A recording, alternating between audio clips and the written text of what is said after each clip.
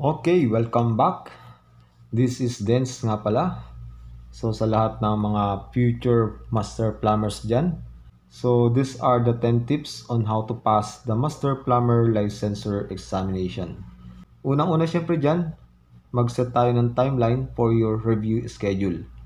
So ginawa ko dyan, talagang nagkaroon ako ng uh, schedule. No? Gumawa ako ng isang uh, a timeline or schedule sa isang Excel sheet No, kailangan 'yan para ma-establish mo yung effective and productive review.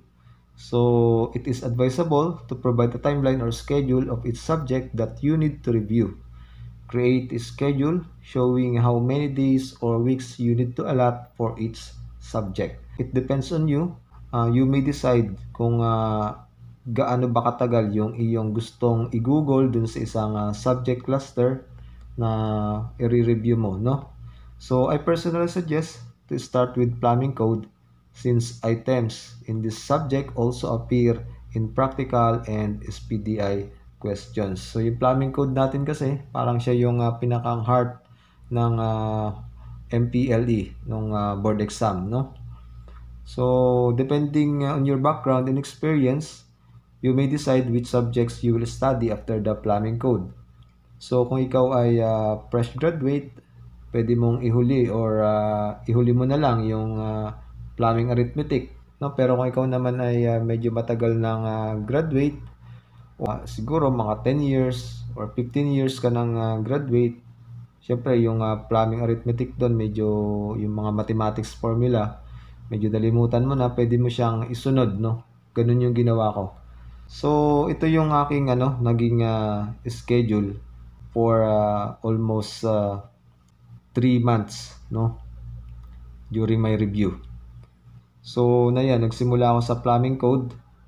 Sinunod ko yung plumbing arithmetic. Pangatlo yung sanitation. At syempre, inihuli ko na yung practical problem. So sa plumbing code, pinilit kong uh, tapusin yung book ni Pahardo, no? Saka yung uh, plumbing code natin. Uh, yung plumbing code pala hindi ko siya natapos halos hanggang chapter 10 lang yata ako doon. Pero yung mga exams naman, kasi meron akong reviewer na as per chapter no, ng plumbing code. Yun yung natapos ko. So almost 3 uh, weeks ako dyan sa plumbing code. Tapos sinunod ko na yung plumbing arithmetic guys. So ang plano ko lang dito is 2 uh, weeks lang. Kasi sabi ko is uh, medyo madali na sa akin yan. Kasi engineering graduate naman tayo. But uh, inabot siya halos din ng ano no, ng 3 weeks. Tapos sinunod ko na diyan yung sanitation design and installation. Ayan din. More than 2 weeks naman siya. At pinanghuli ko na yung practical problem. So ni-review ko yung practical problems almost ano na siya nung 2 uh, weeks lang before uh, nang magkaroon ng uh, before na dumating yung board exam. Pero itong schedule nito is uh, not necessarily Halimbawa, plumbing code or plumbing arithmetic, let's say plumbing arithmetic, nasa plumbing arithmetic ka na, pwede ka pa rin magsagot or patuloy mo yung review mo sa plumbing code, no? Kumbaga, may mga questionnaires ka na sagutan mo pa rin yung plumbing code, pasulpot-sulpot, habang nag-review ka ng plumbing arithmetic para patuloy na nare-refresh yung iyong uh, mga na-review tungkol sa plumbing code. Pwede rin naman na ano, sumundot ka ng uh, questionnaires sa sanitation or uh, practical problem. Pero wag kang magpo-focus muna doon. Basta focus ka lang doon sa plumbing arithmetic mo, no. So yan yung aking actual na ginawang schedule. Gawa na lang kayo ng sarili nyong timeline. At uh, kung ikaw ay uh, matagal pang matagal pa naman yung board exam at uh, marami ka pang buwan na pwede mo i-google. Habaan mo lang din yung ano mo, yung uh, review schedule mo. So, number two tips is uh, set a defined time and do it consistently. So, 6 days a week or 4 hours a day. Tapos 7 p.m. to 11 p.m. So, yan yung aking naging schedule. So, magalat ka ng isang rest day for socials, for socialization, punta sa tropa, to refresh, go to church, etc. No? So, mag-set ka ng ano mo ng uh, schedule. kung ikaw ay nagtatrabaho na, so syempre, the whole day, uuwi ka ng bahay, mga alas 6 siguro, so mag-set ka ng ano mo, ng schedule mo, let's say, uh, 9 to 11, or 8 to 10, so mayroon kang 2 hours, tapos, uh, during break time nyo, kung nag uh, kung nagwo-work ka ha, pwedeng sa lunchtime mag-review-review ka kahit 30 minutes, no? Basta consistent kayo kahit uh, ilang oras pa yan, kung 3 uh, hours a day man yan, basta consistent yung ginagawa, so magiging effective pa rin yan. So number 3, gather and collect review materials. So sumali kayo sa ano, sa Master Plumber Review Group. Pero ano lang, kuha lang kayo ng mga reviewer doon no? Sa mga FB page, meron doon mga nagse-share ng mga review questions, mga past board exam questions. So try niyo uh, magsagot doon. Or uh, tingnan niyo yung mga sagot din nung ano nung mga sumasali doon, no?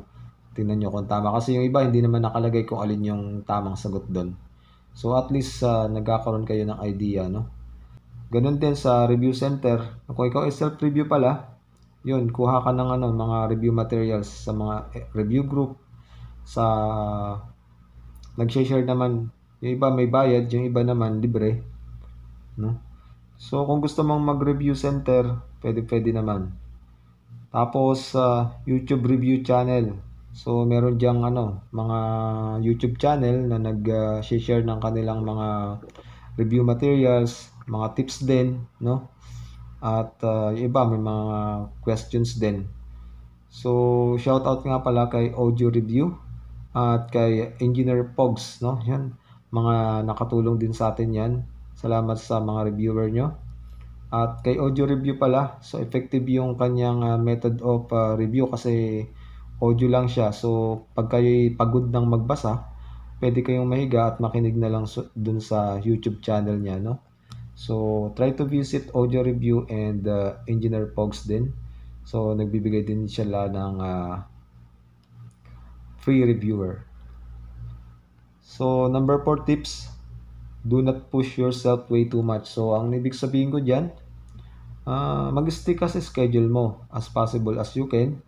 Pero kung uh, sa palagay mo medyo pagod ka, wala ka sa condition, wala ka sa condition, no, if you feel you cannot absorb all the terms, numbers, and topics that you are reviewing, try to stop for a while, no? Relax ka muna ng konti.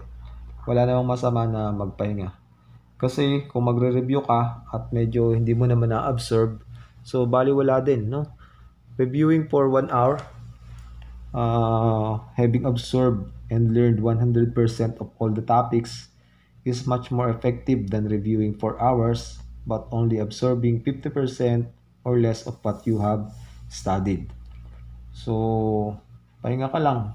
Relax lang muna ng konti. Number 5 tips, answer as many questionnaires as you can. So, sabi ko nga, mangolekta kayo ng uh, mga questionnaires, pero wag namang uh, sobrang dami, no? Kahit madami kayo, hindi nyo naman ma-review lahat yun.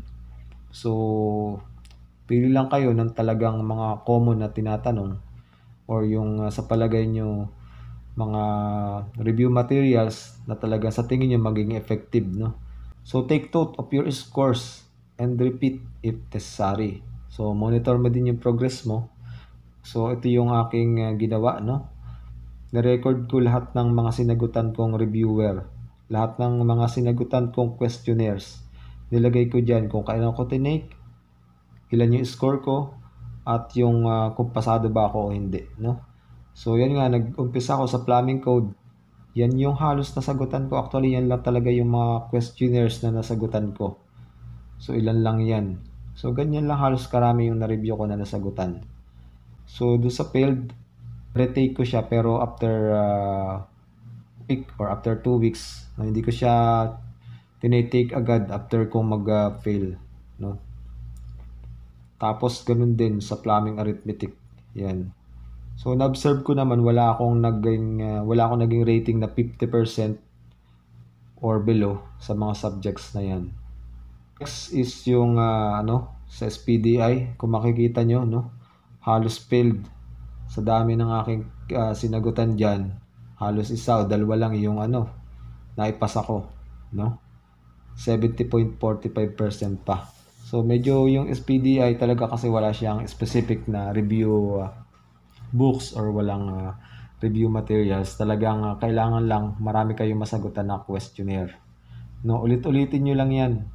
So hindi niyo naman masasabi na ano eh na lahat 'yan is uh, lalabas, no. Ayun pala meron pala akong 42% dito sa SPDI. So below 50% pala. Tapos sa practical nga guys ito, nasa lima lang yung uh, questionnaires na sinagutan ko. Uh, halos binasa-basa ko na lang dyan yung ano, mga reviewer na